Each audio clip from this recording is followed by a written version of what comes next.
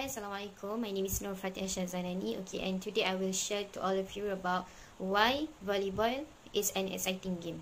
Okay, first of all, uh, I think volleyball is a very exciting game because this um, this uh, game or this volleyball actually requires some uh, skills, some several skills, some specific skills such as serving, digging and also spiking. These are the three things that I think this is a very essential in a volleyball game.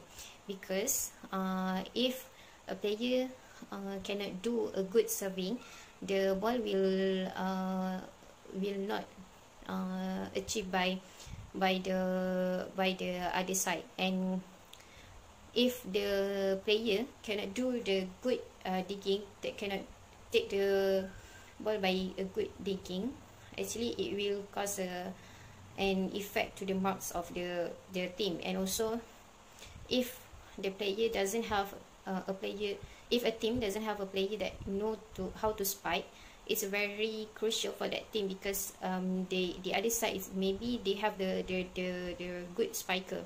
Okay and then i think volleyball is require us a very very strong relationship or bonding together in the in the members because if we doesn't get the good team if we doesn't get a good player with us actually it will affect the the, the team itself because uh just like i mean i i i've experienced in this game actually this game if there's a person or there's a player that do not know how to do the the the the, the serve or the digging it is very it is can cause a problem to the team because uh, if the the other members doesn't uh, do not help the others. Okay and i think in this game also uh, actually giving us the opportunity to know the the other players strength or weakness because there are some players that are really expert in serving that they are also really expert in digging or maybe they are also uh, expert in spiking.